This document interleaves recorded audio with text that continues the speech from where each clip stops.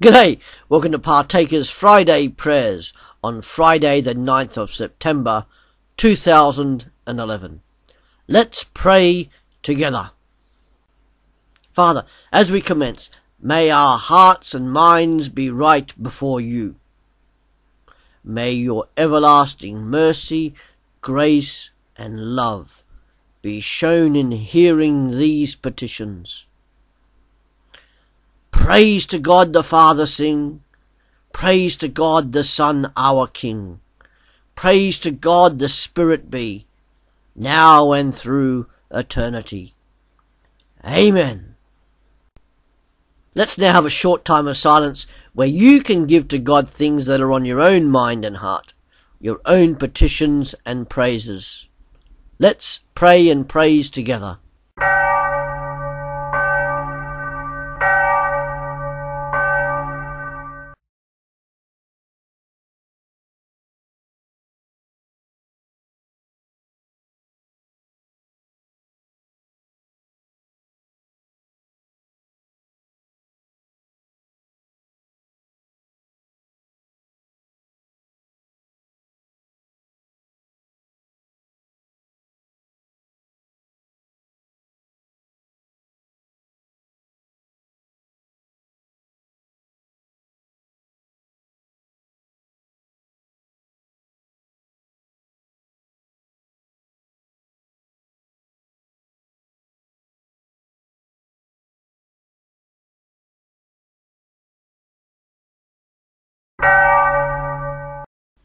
Lord, in your infinite mercy, hear these petitions of your children and accept these praises.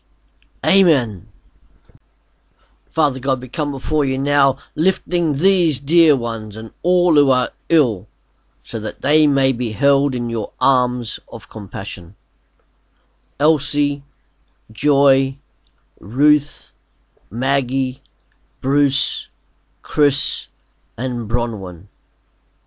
We also lift to you, Father, all those who are grieving the loss of loved ones, such as Mrs. Lee and Mrs. Rake. Father, we also lift before you all those facing uh, uh, challenging situations, such as confinement at home, geographical isolation, lack of employment, health issues, and financial pressures. Hear the cries of our hearts, O Father, and give wisdom and courage to overcome and help respective governments to send aid and be compassionate. We lift these people to you, Father, trusting that you will meet their needs in whatever situation is being faced, and we put ourselves in your hands to help meet those needs where we can. Particularly lift to you Sarah, Lynn, along with Ernie and his wife. Hear the cries of their hearts and give heed to their petitions. Dear Lord, thank you for everything you do for us. Thank you for our families and friends. Forgive us our sin and help us to know you more. Help us to decrease whilst you may increase in our lives and that you will be magnified all to your glory. We ask these things, our Father God, in the name of your Son Jesus Christ and in the power of the Holy Spirit. Amen. Our Father God, we now lift before you all those who are preaching, teaching, leading, and participating in church services around the world this weekend. We ask that the Holy Spirit would guide their minds and that the worship would be in spirit and in truth, and that your word is faithfully preached. For those in countries where to meet other Christians is illegal or not condoned by the government, we ask that you continue to strengthen, guide, and uplift them.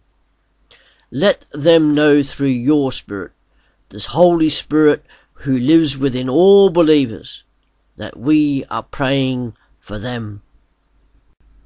Lord God, renew your worldwide church in holiness and help us to serve you with gladness and joy.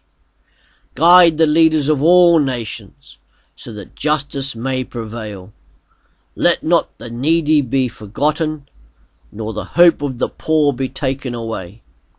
Make us, your church, instruments of your peace, and let your glory be over all the earth. Cause to arise, O Lord, church leaders who will campaign and seek to develop social justice, both on a local, national, and global scale. Amen. Almighty God, we lift this world to you, a world which is crying out for its redemption. We lift to you all people and places where natural disasters have occurred. Help the governments and aid agencies to be quick to respond in bringing aid to people affected.